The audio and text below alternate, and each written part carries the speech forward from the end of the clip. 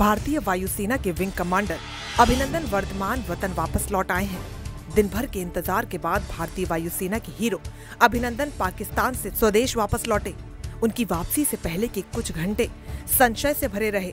इसके बाद ये सवाल उठना लाजमी हो गया कि आखिर इतनी देरी हुई क्यों? शुरुआत में जानकारी आई कि अभिनंदन को शाम चार बजे भारत को सौंपा जाएगा, जिसके बाद घंटे बढ़ते चले गए। आखिरकार पाकिस्तान ने विंग कमांडर अभिनंदन को रात नौ बजकर बीस मिनट पर भारत को सौंप दिया।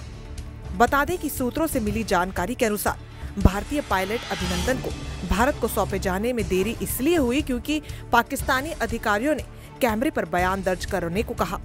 इसके बाद उन्हें सीमा पार करके स्वदेश जाने दिया गया, जिसके अलावा दस्तावेजों से संबंधित मुद्दे भी देरी की वजह बनी। सूत्रों ने बताया कि पाकिस्तान ने उनकी रिहाई का समय दो बार टाल दिया। पाकिस्तान ने अभिनंदन को भारत को सौंपने से पहले एक वीडियो रिकॉर्ड किया। इसके बाद ही उन्हें सीमा पार करके स्वदेश जाने दिया गया। सूत्रों ने ये जानकारी दी है। हालाँकि ये स्पष्ट नहीं हो पाया है कि उन्हें दबाव में कैमरे के सामने बयान देने को कहा गया या नहीं। सोशल मीडिया पर वायरल हुए इस वीडियो में सात कट हैं जो संकेत देते हैं कि इसे परोक्ष रूप से पाकिस्तानी रुख के अनुरूप करने के लिए इसमें बहुत काट छाट की गई है। जो टूट गया था और मैंने इजेक्ट किया। इजेक्ट करते ही उसके बाद जब मेरा पैराशूट खुला और जब मैं नीचे गिरा, मेरे पास पिस्तौल थी और लोग बहुत ज़्यादा थे और मेरे पास बचाव के का सिर्फ़ एक ही साधन था, मैंने अपनी पिस्तौल गिरा दी।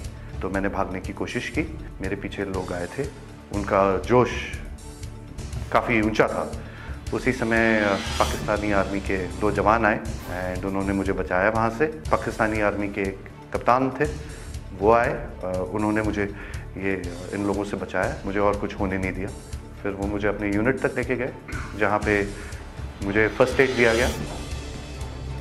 एंड uh, फिर उसके बाद uh, मुझे हॉस्पिटल ले जाया गया जहाँ पे uh, मेरी जाँच हुई और मुझे और एड दिया गया।